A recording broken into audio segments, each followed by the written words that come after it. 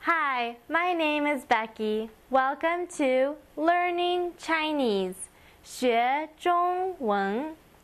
Today I'll go into a character that I believe encompasses some of the most basic strokes that we have just learned, and I'll teach you how to type Chinese on the computer.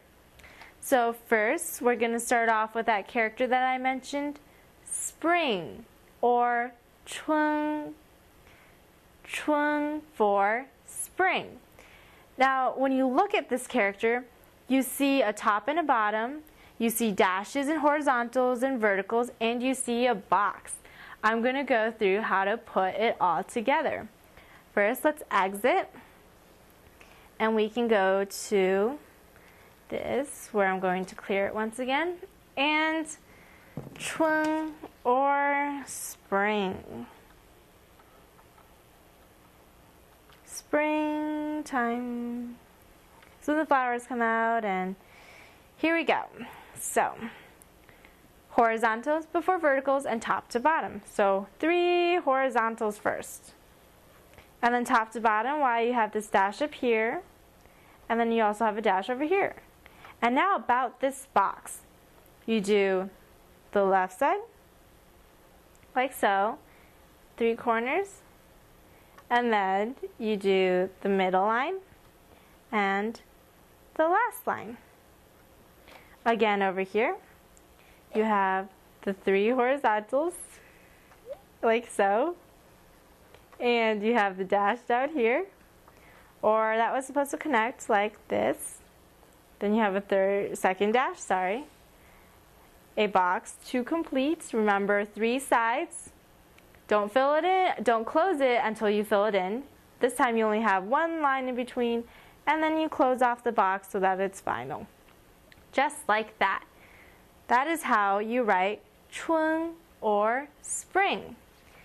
Now, I was saying a second ago that we can also type on the computer. Well, how do you do that? Here are some basic rules. Typing on the computer, you have to know how to write your pinyin. You have to be able to recognize the word. Typing on the computer, the program will give you a list of words to choose from. All of them have the same pinyin, but they don't have the same accents. Or they may have the same accents, but different meanings.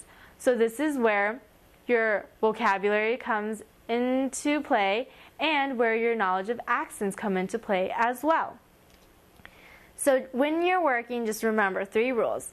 Type in the pinyin, find the word and type the number that's next to it, and then press enter if that is the word you wish. I will show you how to do this. So, let's open up a new one and Let's say I want to write, what do I want to write? Let's say I want to write spring. Well, what is the pinyin for spring? That's C, H, and you notice how that little bar comes up? I'll try to zoom in for you right here.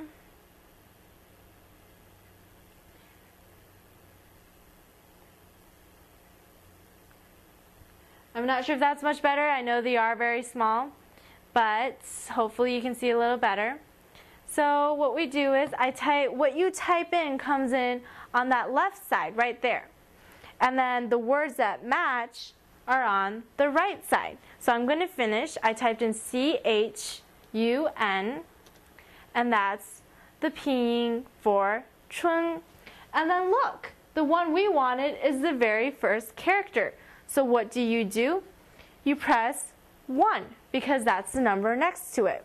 Now, what's all this? That is thing that those are words that you can put with chun and make a phrase or make a sentence or common phrases that you have in Chinese. If you don't want any of that and all you want is the character, push a period and that goes away. If you don't want the period, simply go back and delete for chun.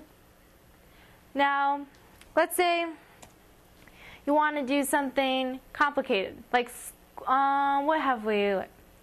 You could do ni hao for hello.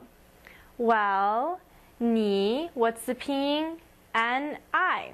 So you go to your keyboard, type in N I. Hopefully you can see those. And once again, look, you, your word happens to be number one. And if it isn't, no worries. Continue scanning down the list until you find it. If you don't find it on the first row, you press page down on your computer and you can get the second list and so on and so forth until you find it.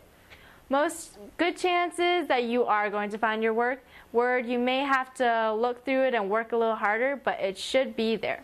So look, 你 and we want us to say how. So common phrases such as these, you can put the ping together. Now, what's the ping for how? It's H A O. I've already typed in me and we see that they have a match. Right after, we're going to type in how, H A O, and look at that. It's all there for you, and there's none others, so there's no confusion. Right there, Number one, 你好, press one. And look, on your computer, you get ni hao. And sometimes this only works with phrases that are very, very common. If you have a phrase that when you type in all the ping together and doesn't show, then you might have to go through word and word, word by word, and find the match.